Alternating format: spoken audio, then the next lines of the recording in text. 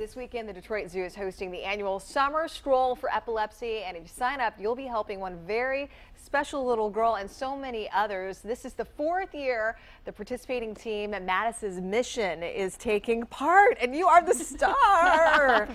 this is Madison, you're six, and you're here with your mother, Angie, also Brianna Romines, uh, the head of the Epilepsy Foundation of Michigan. Thank you all so much for being with us. We really appreciate it. I tell you what, I see why you're a good team leader. I really do. I know it.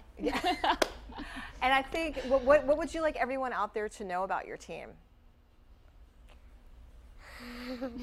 I have no idea. well, we'll let you think about that. We'll let you think on that. And, and uh, Angie, obviously, this is a cause close to your heart. When was Madison diagnosed with um, epilepsy? yeah, she, right after her third birthday, Okay. um, she was diagnosed, diagnosed with epilepsy, and that's when we found the Epilepsy Foundation. Um, they became our close allies. Um, it's a wonderful organization. Uh, they do so many things for the community. Um, they helped us with support, events, programs, and we got involved with the stroll, and this is our fourth year now. That's fantastic. And tell us about the stroll, if people still want to take part. Well, first and foremost, it is so much fun. Yeah. Um, it does a huge amount of spreading awareness for us, which with epilepsy is incredibly important, and it also raises some very vital funding that we need to do our mission.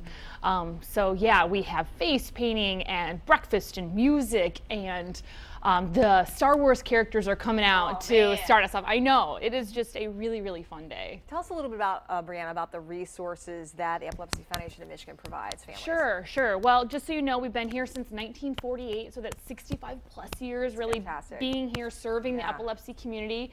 Um, we have our Here For You hotline, which is toll free. Call us. We are here for you. That is embedded in the name. Um, we have a camp for kids with epilepsy. We have a variety of different programs that really are tailored to meet the needs of the epilepsy community. So we are just happy to be here. And Angie, obviously, your family's probably, you know, appreciated the help that the organization's offered. Absolutely. Yeah. Even if you know, even if your child is j- has just had their first seizure, I would recommend reaching out to the Epilepsy Foundation of Michigan, um, epile- epilepsymichigan.org, and um, figuring out how they can help you and how you can get involved. Yeah. How much money has your team raised this year? Do you know? You have any idea, ballpark? Over thirty thousand dollars. Wow, you did Yeah. that? Your team did that? How many people are on your team? Is it your family? We have over 100 walkers. Um, we have some of our uh, friends from school and the Daisy Scouts that'll be walking with us as well. Um, Fantastic. friends and family from all over the place. So. I love it. I think the cameras have made you a little bit shy. You, she, she is so outgoing. Look at these pictures. I love it. I love it. So where can people go to register? It's not too late, right? No, absolutely, not too late. Yep, epilepsymichigan.org. And really, at this point, just come. We are set up at the door. That's the thing. Just come. Um, we will get everybody registered at the event tomorrow morning. Fantastic. I love it. Well, thank you all so much for coming in, Brianna, Angie, Madison as well. Remember, this is the Summer Stroll for Epilepsy at the Detroit Zoo tomorrow, June 27th.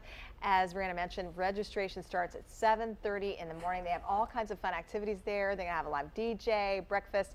Coloring events, so definitely come out and take part in that to help support the Epilepsy Foundation of Michigan and Madison's mission as well. Can you give me a high five?